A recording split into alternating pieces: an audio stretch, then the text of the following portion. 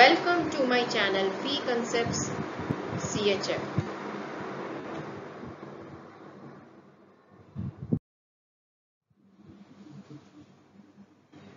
We will see the experiment of band gap energy of germanium diode.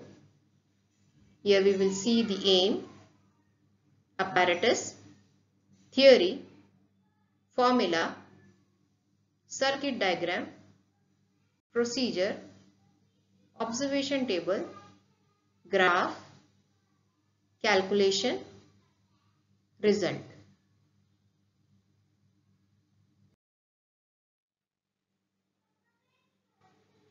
Aim to determine the energy gap of germanium.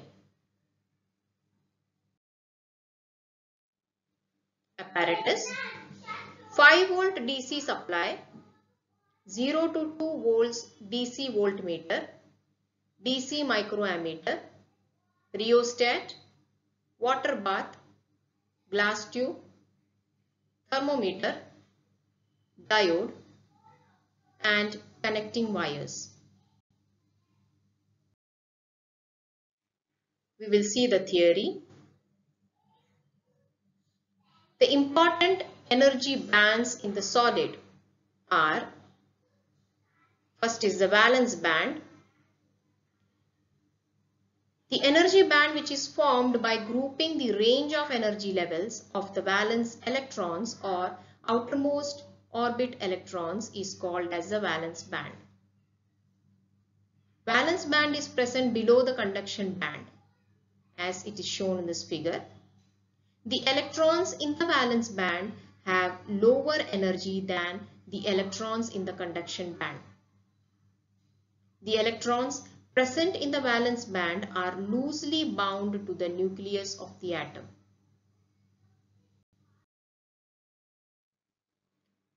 Second important energy band is the conduction band. The energy band which is formed by grouping the range of energy levels of the free electrons is called as conduction band. Generally, the conduction band is empty, but when you supply external energy, the electrons in the valence band jumps into the conduction band and then they become free electrons. The electrons in the conduction band have higher energy than the electrons in the valence band. The conduction band electrons are not bound to the nucleus of the atom.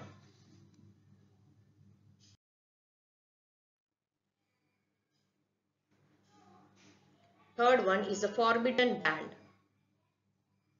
The energy gap which is present between the valence band and the conduction band by separating these two energy bands is called as the forbidden band or the forbidden gap.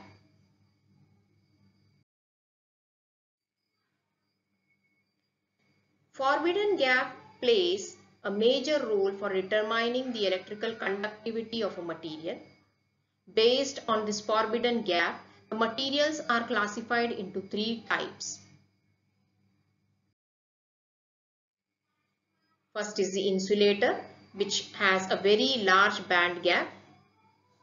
Second, you can say is the metal where the valence band and the conduction band overlap and hence the band gap energy is zero. Third is a semiconductor whose band gap energy lies in between that of the metal and the insulator.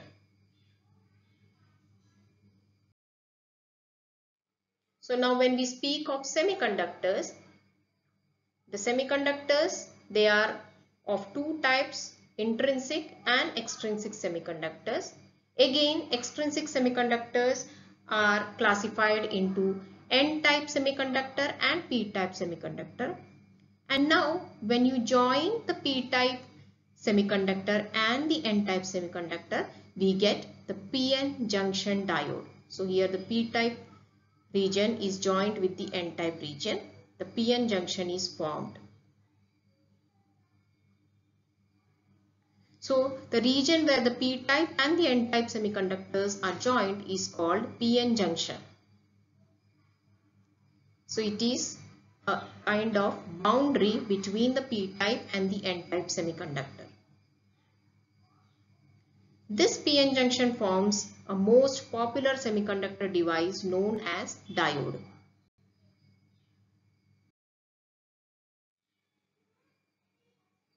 In semiconductors at low temperatures there are few charge carriers to move so the conductivity is quite low. However when you increase the temperature more number of charge carriers get sufficient energy to be excited to the conduction band. So this actually increases the conductivity.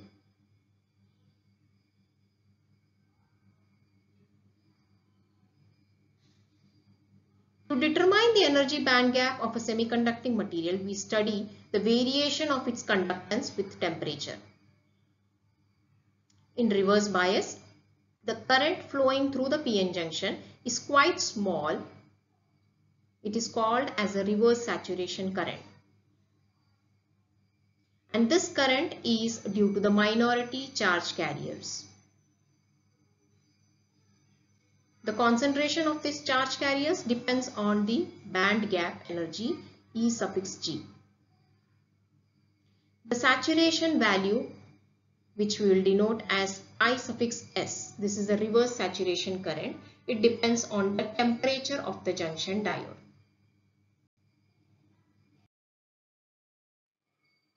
Formula. The reverse saturation current IS is given as A into T square into e raised to minus Eg by kT. A is a constant. We rearrange this equation, take t square on the other side in the denominator. Then taking the log on both sides, this is log to the base e. You can convert it into log to the base 10 by multiplying through uh, with the 2.303.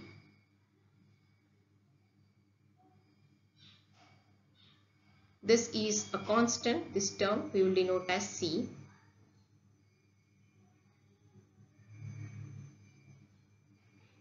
And now we can plot a graph of I uh, log of is upon t square versus 1 by t from which we will get a slope. If we rearrange this equation, we can find out the band gap energy that is minus 2.303 into k into the slope of the graph where k is the Boltzmann constant the value of Boltzmann constant is 1.38 into 10 raised to minus 23 joules per Kelvin. This is the circuit diagram. We can see the PN junction diode. It is conduct is it is connected in the reverse bias mode. The N side, the N side of the di diode is uh, connected uh, to the positive terminal of the battery and the P side is connected to the negative terminal of the battery. You have a microammeter and a voltmeter and this rheostat is to vary the voltage. The diode is kept in a test tube which is surrounded by water and later on we will be heating the this diode.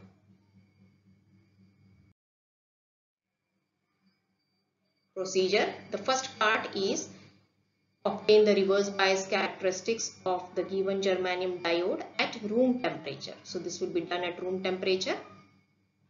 We'll determine its reverse saturation current IS at room temperature. In the second part, we will uh, keep the reverse bias voltage quite sufficient to give a saturation current. Then we will note the values of the reverse saturation current IS as we increase the temperature T. Note that uh, do not exceed the temperature above 60 degrees Celsius otherwise the diode will get damaged. Then we will plot a graph of log of Is upon T square versus 1 by T. Then we'll find the slope and we'll determine the energy band gap of the semiconductor. So in the first part, this is the measurement at room temperature. Room temperature is noted down as 29 degrees Celsius and we get these readings. As you increase the voltage, the current increases as 2, 4, 6, 8. Here also it is continued. The voltage is increased we can see the current is increasing and later on it becomes constant or it is saturated. Further increase in this voltage will not increase this current. So this is happening at room temperature. Second part we will measure the uh, reverse saturation current at different temperatures. We will keep the voltage constant at 1.36 volts. And we are changing the temperature.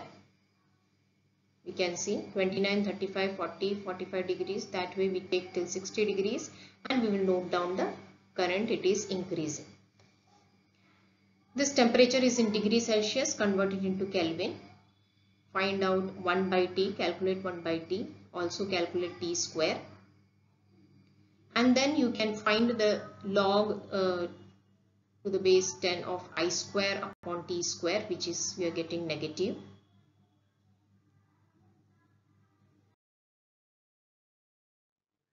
So as you are getting negative you will get a straight line in the fourth quad, uh, quadrant. This is log of is upon t square and here on the x-axis is 1 by t. We get the slope about minus 3125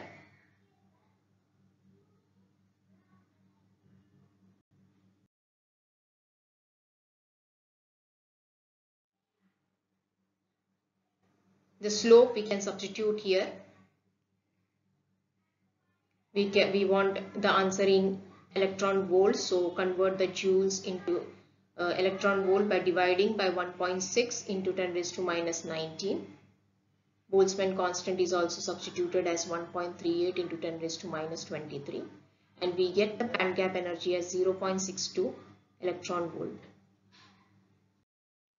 So the result is that the energy gap of germanium is 0.62 electron volt. These are some of the e-resources that you can refer.